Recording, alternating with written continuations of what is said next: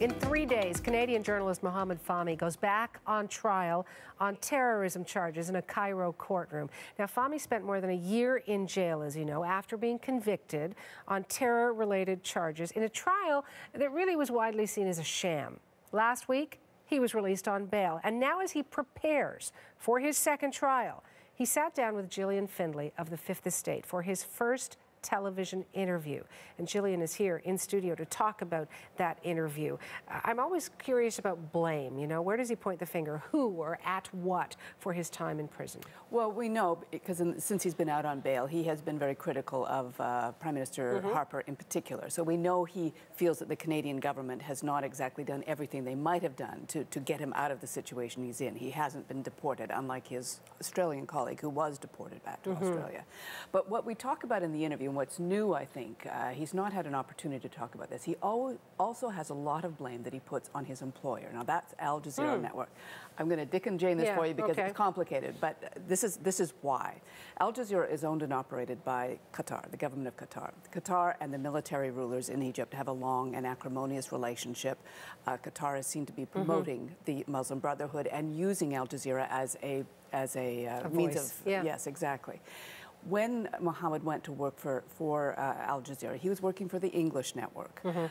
The Egyptians had just shut down the Egyptian network, and he wanted to put as much uh, distance between them and distinction uh, as he could. Um, but he feels that his employer really let him down. He said it wasn't clear at all to him that they were properly licensed. They weren't providing proper journalistic credentials for their people, and because they were Al Jazeera, they were in danger in the street, he said, mm -hmm. in, particularly in those days. And worse, they were taking their packages, their stories, and running them on the banned network. Now, he says, look, at, that just made us sitting ducks. When the government saw that, they had every reason to think that there was no distinction between these two yeah. networks, that we were we really were part of this Muslim Brotherhood sympathizers, and that's why we were charged as mm -hmm. sympathizers with terrorists. You know, he spent 400 days in there, and when Peter Greste, and you mentioned his colleague from Australia, was released, he, he didn't really share a lot of stories about the time yeah. there in prison. Did Mohamed Fahmy do any of that? Did he tell you stories about those 400 days? He did. He told us in particular about that first month. Yeah. He was taken, because of the charges, he was taken to what's uh, the most notorious uh, prison in Cairo called Scorpion. Mm. He was put in an isolation ward, solitary confinement for a month, didn't have a watch, didn't have any way of knowing what time of day it was. He said that was really hard. He said, you know, you just, you, you, you don't know whether you can get through this. And you can imagine what the conditions sure. of an Egyptian prison might be like. Um, and you learn all kinds of things about yourself. But he said the really interesting thing was because he was in this wing with all these alleged uh, terrorists, uh, including people who had just come in from Syria, members of ISIS, mm. people who uh, had an affiliation with Al Qaeda, he said, as a journalist, it was fascinating. And he said, here I was, and I could talk to these people and learn about what they thought and why, and I didn't have to worry about being kidnapped or, as he's joked, having my head cut off. So mm. he said, in that that sort of um, intellectual stimulation, he said, really helped him get through that time. Yeah. His trial, uh, Gillian, we mentioned at the beginning in the intro, scheduled to start in three days, so that is Monday. How is he feeling about that? He's, he's going into next week with a lot of trepidation. We asked him in the interview, and I think we have a clip so you can hear okay. for yourself. You do go to retrial next week. Having um, gone through a trial already, uh, do you have faith in the Egyptian judicial system uh, to give you a fair trial, to, to have this turn out in a different way this time?